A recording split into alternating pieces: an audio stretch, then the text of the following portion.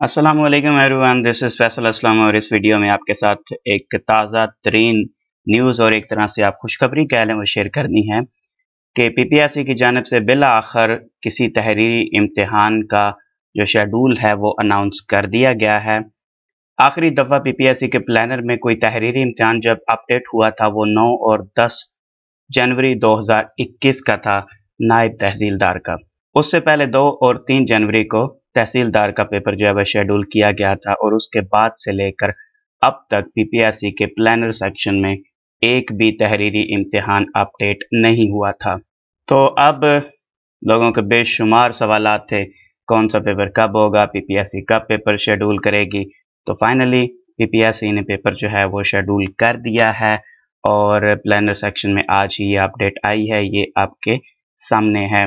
Stenographer B S fifteen deputy commissioner revenue department district Chakwal वगैरह वगैरह।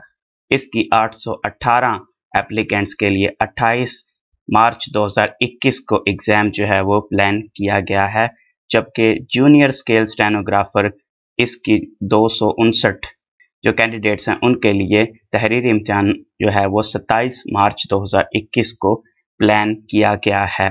अब चूँकि अभी तक किसी किस्म के कोई पेपर्स हो ही नहीं रहे थे तो ये एक तरह से उम्मीद की किरण है कि अगर ये पेपर शेड्यूल किए गए अगर चीन पे एप्लीकेंट्स की तादाद कम है, ज़्यादा के लिए आई थिंक अब नेक्स्ट अप्रैल में जो है वो पेपर स्टार्ट कर दिए जाएँगे।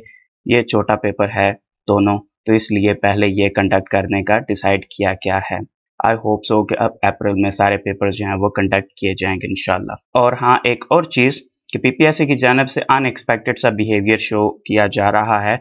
पिछले दिनों मैंने आपको बताया कि अपकमिंग जॉब्स में लेक्चरर की सीट्स जो हैं वो शो की गई हैं और उसके बाद पीपीएससी की जानब से वो सीट्स वहाँ से रिमूव कर दी गई। तो हो सकता है कि ये डेट्स भी अभी शो हो रही हैं, लेकिन कुछ देर में अगर मूव कर दी जाएँ तो कल तक दोबारा शो हो जाएँगी।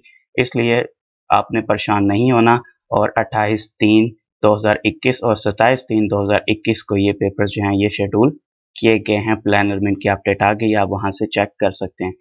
That was all for this video. Thank you so much for watching. Allah hafiz